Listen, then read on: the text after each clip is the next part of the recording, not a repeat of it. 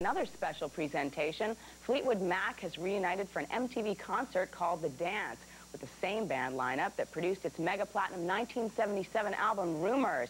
Its intimate songwriting, fueled by a series of troubled romances within the band and pristine playing, made Rumours one of the most popular records of all time. But it took a lot of delicate steps to get these five people to make music together once more. How much of some of these problems stem from, from your cocaine use back then?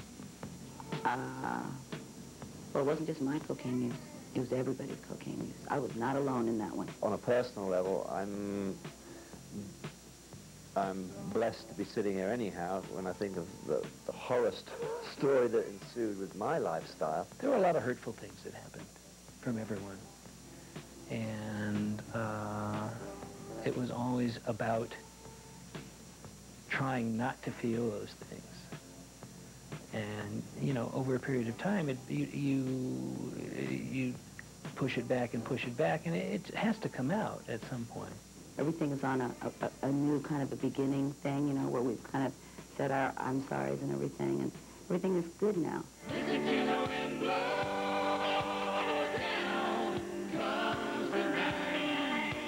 Band members swear this reunion happened for the music, not for the money.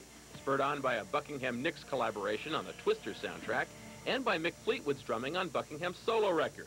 Clearly, this was a far happier event than their one-off get-together for the 1992 Clinton inaugural. We did that because the President of the United States asked us to do that. You know, that's probably the only man in the whole world that could have gotten us to do this. And I did call Lindsey and say, we have to do this in the scheme of our lives. This is important. Hi, good evening, everybody. Thanks for coming. Welcome to our little soiree. How relaxed were you when you were up on stage? You looked very calm. Oh, you should have seen it from my side. Five uh, cheers. I was actually extremely nervous. Well, I've got to tell you, I was a massive nerve. Very nervous. Very.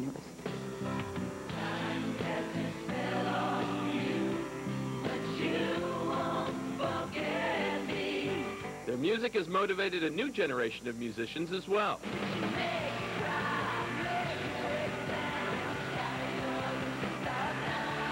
What's it meant to you to have some of your songs covered by people like Hole and Smashing Pumpkins? How's that been?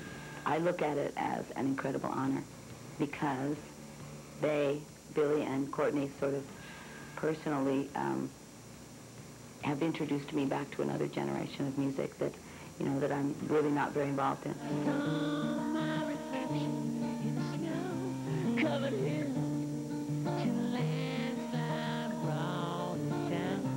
It's interesting that time goes by and that someone of the caliber of, of Billy Corgan, I mean, he has a lot going on, that he would suddenly be declaring, you know, Fleetwood Mac is, is not the enemy anymore. Fleetwood Mac's The Dance will premiere here on MTV Tuesday night at 10 p.m. Don't go away because there's lots more in store on The Week in Rock. I can still hear you say, never break the chain in Fleetwood Mac, reunited for their first public performance in 15 years. Experience the music of one of the most influential bands of the rock era. Tuesday night at 10 at the 10 spot on MTV.